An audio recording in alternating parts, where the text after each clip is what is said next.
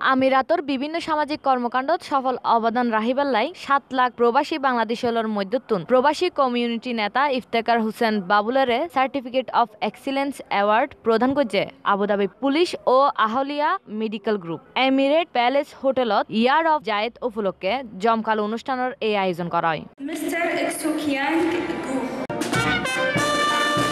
Abu Dhabi পুলিশের lieutenant colonel Saeed Al Mansoori ও আহালিয়া গ্রুপের managing director doctor গুফালের আতত্তুন এই সম্মাননা গ্রহণ করে তিনি.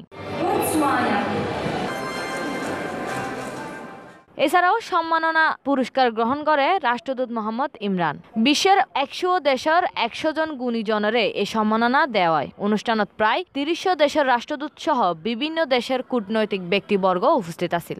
আইডল হিসেবে সারা জীবন বেঁচে থাকবে। এছাড়াও উপস্থিত আছিল দূতাবাসের মিনিস্টার ইকবাল হোসেন মিসেস রাষ্ট্রদূত জাকিয়া ইমরান মিসেস ওয়াহিদা সুলতানা বাবুল বঙ্গবন্ধু পরিষদ সাধারণ সম্পাদক নাসির তালুকদার মোহাম্মদ মুর্শেদ আলম সহ আরও বোধকে In UAE since 1981, he performed managerial. Belarus. Mr. Botswana.